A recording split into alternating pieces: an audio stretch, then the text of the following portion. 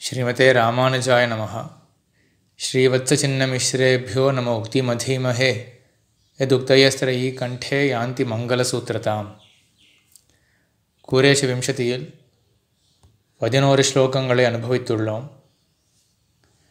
பதினோராவது ஸ்லோகத்திலே நடுவில் திருவிதி பிள்ளை பட்டர் சாதிக்கின்றார் ஆழ்வானை குறித்து ஸ்தோத்திரம் இயற்ற வேண்டும் என்பதில் எனக்கு ஆசை உண்டு ஆனால் என்னுடைய தாபங்களைக் கண்டு ஆசை இருந்த பொடிலும் கூட இந்த ஸ்தோத்திரத்திலே மிகுந்த ஒரு உற்சாகம் எனக்கு பிறக்கின்றதில்லை என்று வருத்தப்பட்டார். மேல் இந்த பன்னிரெண்டாம் ஸ்லோகத்திலும் தன்னுடைய நைச்சியத்தை அனுசந்திக்கிறார். ஸ்ரீவத்ச சின்ன தவ பூரி தயாபகாயாம் ஸ்நாத்வா அதி நிர்மலதமோபி மிதம் பச்சோகம் நிந்தியேஷு கர்மநிச்சயேஷு நிரூடபுத்தி மஜ்ஜாம் யதஸ்தமசிஹா தவ நிர்பரோஸ்மி என்று।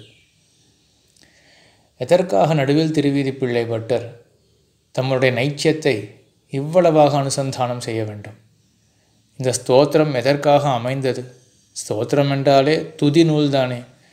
கூரத்தாழ்வானுடைய திருப்புகழ்களை துதிப்பதற்காக அமைந்த இந்த நூலிலே தம்முடைய நைச்சியத்தை எதற்காக இவ்வளவாக அனுசந்தானம் பண்ண வேண்டும் என்றால் துதித்தல் ஸ்தோத்திரம் நமஸ்காரம் என்றால் சுவாவதிக உத்கர்ஷ போதானுகூல வியாபாரா என்று சாஸ்திரங்களிலே சொல்லுவார்கள். அதாவது தன்னை காட்டிலும் எதிரிலே உள்ளவன் மிகவும் உயர்ந்தவன் என்பதை அறிவிப்பதுதான் ஸ்தோத்திரம் வணக்கம் நமஸ்காரம். ஆக இதிலே ரெண்டு அம்சங்கள் இருக்கின்றது. வக்தா சொல்லுபவன் துதிப்பவன் ஒருவன். ஸ்தவ்யன் துதியை பெற்றுக்கொள்பவன் எதிரிலே உள்ளவன். தன்னை காட்டிலும் எதிரிலே உள்ளவனுக்கு ஏற்றம் இருக்கு என்றதை சொல்லும் பொழுதே அவனை காட்டிலும் எனக்கு தாழ்ச்சி இருக்கு என்றது தன்னடையே கிட்டுமே. ஆக ஸ்தோத்திரத்துக்கு இந்த ரெண்டு அம்சங்கள் உள்ளதாக நான் கொள்ளலாம். சொல்பவனை காட்டிலும் கேட்பவன் உயர்ந்தவன் என்றது ஒன்று. துதியை பெற்றுக்கொள்ளும் அவனை பார்த்தால் துதி செய்யுமவன் தாழ்ந்தவன் என்ற அம்சமும் அடங்கி உள்ளது. அந்த ரெண்டாவது அம்சத்தை பற்றி நடுவில் திருவிதி பிள்ளை பட்டர் இந்த துதி நூலிலே தம்முடைய நைச்சியத்தை அனுசந்தானம் பண்ணுகிறார். மணவாள மாமணிகளும் இதே கிரமத்தில்தான் எதிராஜ விம்சதி என்று எம்பெருமானாரை பற்றின இருபது ஸ்லோகங்களை கொண்ட ஸ்தோத்திர நூலிலும் தம்முடைய நைச்சியத்தை பரவலாக அனுசந்தானம் செய்கின்றார். ஆக தம்முடைய நைச்சியத்தை சொல்ல புக்கால் அது துதிக்கப்படுபவனுடைய ஏற்றம் தன்னடைய சித்திக்கும் என்ற அபிப்பிராயத்தினால் தம்முடைய நைச்சியத்தை அனுசந்தானம் பண்ணுகின்றார்கள் ஆச்சாரியர்கள். பன்னெண்டாவது ஸ்லோகம் ஸ்ரீவத்ச சின்ன தவ பூரி தயாபகாயாம். ஸ்நாத்வா அதி நிர்மலதமோபி. ஆபகா என்றால் நதி. என்ன நதி இங்கே ஓடுகின்றது? ஸ்ரீவத்ச சின்ன கூரத்தாழ்வான் அவருடைய தவ பூரி தயாபகாயா ஆபகாயா. உன்னுடைய பெருத்த கருணை என்கின்ற அந்த நதி இருக்கின்றது அந்த நதியிலே குடைந்து நீராடி ஸ்நாத்வா. நதியிலே நீராடினோம் என்றால் நம்மளுடைய அழுக்கெல்லாம் போகுமே. அழுக்கெல்லாம் போயித்து என்று அருளி செய்கிறார் பட்டர். அதி நிர்மலதமாக மிகவும் சுத்தனாக நான் ஆனேன். இருந்த பொழுதிலும் மிதம் பச்சோகம் மிதம் பச்சக மிகவும் தாழ்ந்தவனாக நான் இருக்கின்றேன். அது எப்படி பொருந்தும்? கூரத்தாழ்வானுடைய பெருத்த தயை அந்த நதியிலே குடைந்து நீராடிவிட்டு மலங்களெல்லாம் கழிய பெற்று பிறகு பிறகும் கூட பின்பும் கூட எனக்கு தாழ்ச்சி உள்ளது. என்றால் அது எப்படி பொருந்தும்? என்றால் இது நாம் வாழ்க்கையிலே அனுபவத்திலே கொள்ளக்கூடிய விஷயம்தான். எம்பெருமான் சந்நிதியிலோ பாகவதர்கள் சந்நிதியிலோ நாம் இருக்கும் பொழுது நம்மளுடைய தாப்பங்கள் எல்லாம் அகன்று போய்விட்டன என்று தோற்றமளிக்கும் ஆசை ஒன்றும் இருக்காது. அதேபோல் பொறாமையோ கோபமோ என்ற துர்குணங்களும் இருக்காது. ஆனால் அந்த சன்னிதானத்தை விட்டு வெளிவந்தோமே என்றால் பழைய சாம்சாரிக துக்கங்கள் எல்லாம் நமக்கு நேரிடும். இது நாம் அனுபவத்திலே கொள்ளக்கூடிய விஷயம்தான். அந்த ரீதியிலே நடுவில் திருவீதி பிள்ளை பட்டர் சாதிக்கின்றார். அதி நிர்மலதா ஸ்நாத்வா அதி நிர்மலதா அதி நிர்மலதமோபி அகம் மிதம் பச்சகா மிகவும் தாழ்ந்தவனாக இருக்கின்றேன். மிதம் பச்சகா என்றால் மிகவும் மிதமாக அளவு சிறிதாக சமைக்கக்கூடியவனுக்கு மிதம் பச்சகா என்று பெயர். கிருப்பணன் என்று பொருள் சொல்லுவார்கள். கிருப்பணன் என்றால் கைமுதலற்றவன் கொடுப்பதற்கு ஒன்றுமற்றவன் அவன் கிருப்பணன். அதேபோல் தீனன் இறங்கத்தக்கவன் ஆகையினால் எவ்விதமாக பார்த்தாலும் தாழ்ச்சி ஒன்று தெரிகின்றது. மிதம் பச்சகா மிகவும் தாழ்ந்தவனாக நான் இருக்கின்றேன். தாழ்ந்தவனாக இருக்கிறபடியினால் கூரத்தாழ்வானுடைய தயைக்கு விஷயமான பொழுதிலும் கூட நிந்தியேஷு கர்ம நிச்சயேஷு நிரூட புத்திகி சாஸ்திரத்திலே விளக்கத்தக்க சாஸ்திரத்திலே விளக்கப்பட்ட கர்மங்களிலே நிரூட புத்தி திருடமான ஒரு சம்ஸ்காரம் இருக்குது அந்த நிந்தியமான கர்மங்களை நான் செய்தே தீருவேன் என்ற ஒரு திருடமான சம்ஸ்காரம் எனக்கு இருக்கின்றபடியினால் மேலும் மேலும் கிருத்தியாகரணங்களை நான் அதாவது செய்யக்கூடாத அக்கிருத்திய கரணங்களை எல்லாம் நான் செய்து போகின்றேன் என்று தம்மை நொந்து தம்மை குறித்து வருந்துகின்றார். ராவணன் சொல்லுகின்றான் ஏஷமே சகஜோதோஷா த்விதா பஜ்யேமப்யேவம் ந நமேயம் து கசிச்சித் ஏஷமே சகஜோதோஷா சுபாவோ துரதிக்கிரமஹா பெருமானுடைய ராமபிரானுடைய பிரபாவத்தை நான் அறிவேன். அறிந்த பொழுதிலும் கூட என்னை இரண்டாக வகுந்தெடுத்தாலும் கூட எம்பெருமானுடைய திருவடிகளிலே நான் விழமாட்டேன் என்று தன்னுடைய ஒரு அகங்காரத்தை அவன் வெளியிடுகின்றான். ஏஷமே சகஜோ தோஷா இது பிறவியிலே சகஜமாக ஏற்பட்டக்கூடிய ஏற்பட்ட தோஷம் இது. சுபாவகா துரதிக்கிரமஹா யாராலையும் தன்னுடைய சுபாவத்தை மீறி நடக்க முடியாது. அந்த ரீதியிலே நடுவில் திருவிதிப்பிள்ளை சாதி பட்டர் சாதிக்கின்றார். ஆழ்வானுடைய கருணைக்கு இலக்கான பொழுதிலும் கூட அனாதி சம்சார வாசனை இருக்கு அது என்னை பாப்பச் செயலிலே தள்ளுகின்றது என்று. மணவாள மாமணிகளும் ஏததே ஹா என்று வளருகின்றது. என்ன? அப்பிராப்த விஷயங்களிலே எனக்கு ருச்சியானது வளருகின்றது.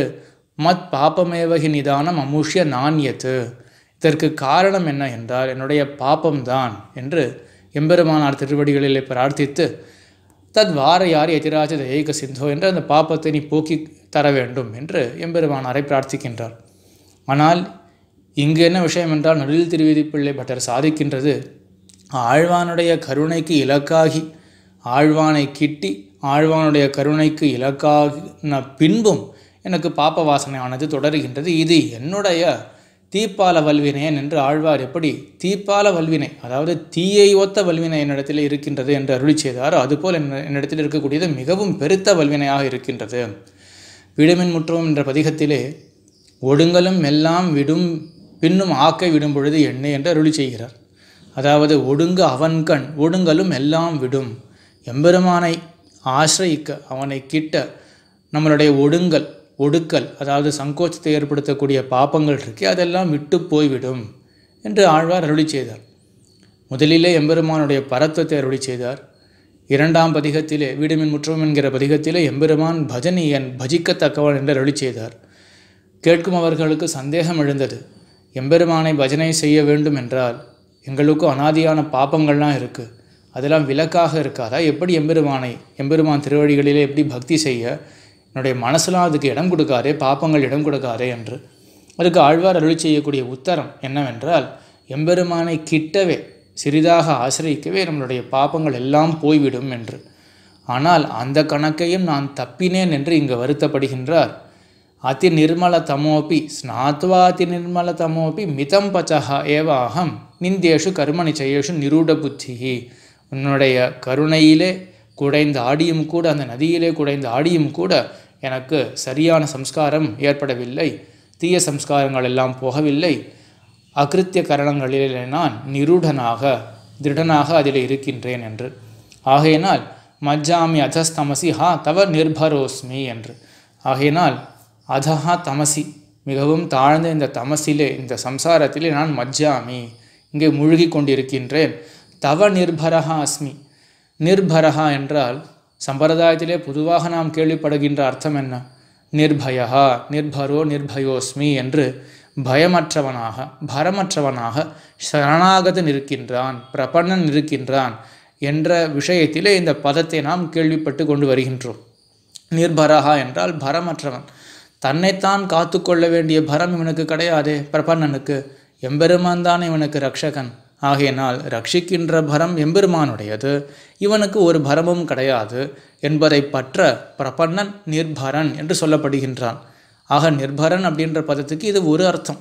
ஆனால் நிர்பரன் அப்படின்றதுக்கு மற்றொரு அர்த்தமும் இருக்குது நிர்பரன் அப்படின்னா துர்பரஹா துக்கேன பருத்தும் யோகியா அதாவது பரிக்க முடியாதவனுக்கு நிர்பரன் என்று பெயர். என்ன தாத்பரியம் இங்கே? நடுவில் திருவிதி பிள்ளை பட்டருக்கென்றால் தான் ஆழ்வானுக்கு சரண்யன்.